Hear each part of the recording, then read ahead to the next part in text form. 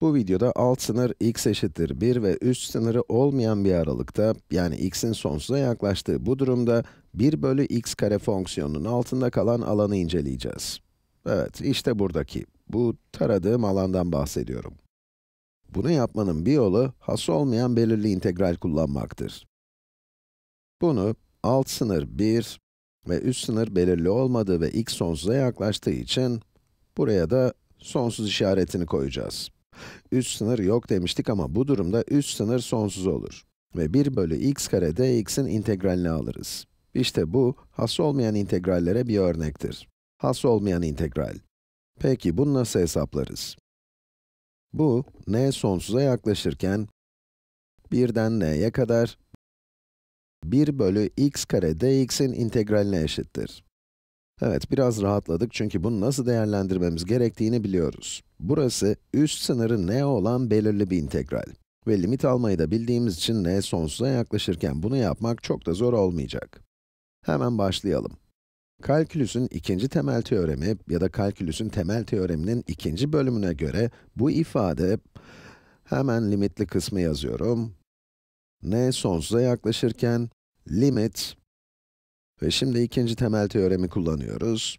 1 bölü x kare ya da x üzeri eksi 2'nin ters türevini hesaplayacağız.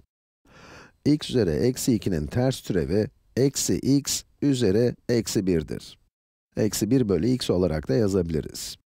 Şimdi de bunu n'de ve 1'de değerlendireceğiz. Devam ediyorum. n sonsuza yaklaşırken limit, n'de değerlendirirsek, eksi 1 bölü n, eksi ve 1'de değerlendirirsek de, eksi 1 bölü 1, yani eksi 1 buluruz. Şahane. n sonsuza yaklaşırken bu ifadenin limiti nedir? Köşeli parantezdeki ifade buradan geliyor. Henüz limit almadık. Bir daha yazalım.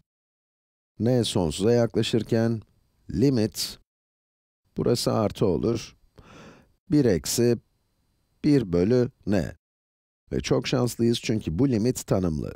n sonsuza yaklaştıkça, burası sıfıra yaklaşacak. 1 bölü sonsuzu 0 olarak da düşünebilirsiniz. Ve böylece sonuç 1 çıkacak. Buradaki taralı alanın sağ sınırı yok, sonsuza kadar devam ediyor. Buna rağmen sonlu bir alan var ve bu alan 1'e eşit. Evet, has olmayan bir integral vardı. Bunu değerlendirip limitini aldığımızda bir sonuç bulduk. Bu durumda bu örnekteki has olmayan integral yakınsaktır diyebiliriz. Yakınsak. Eğer herhangi bir sebeple buradan bir sonuç bulamasaydık, alan sonsuz bir alan olsaydı, o zaman ıraksak olurdu. Neyse ki bu videodaki temiz bir örnekti ve alanın 1 olduğunu bulduk.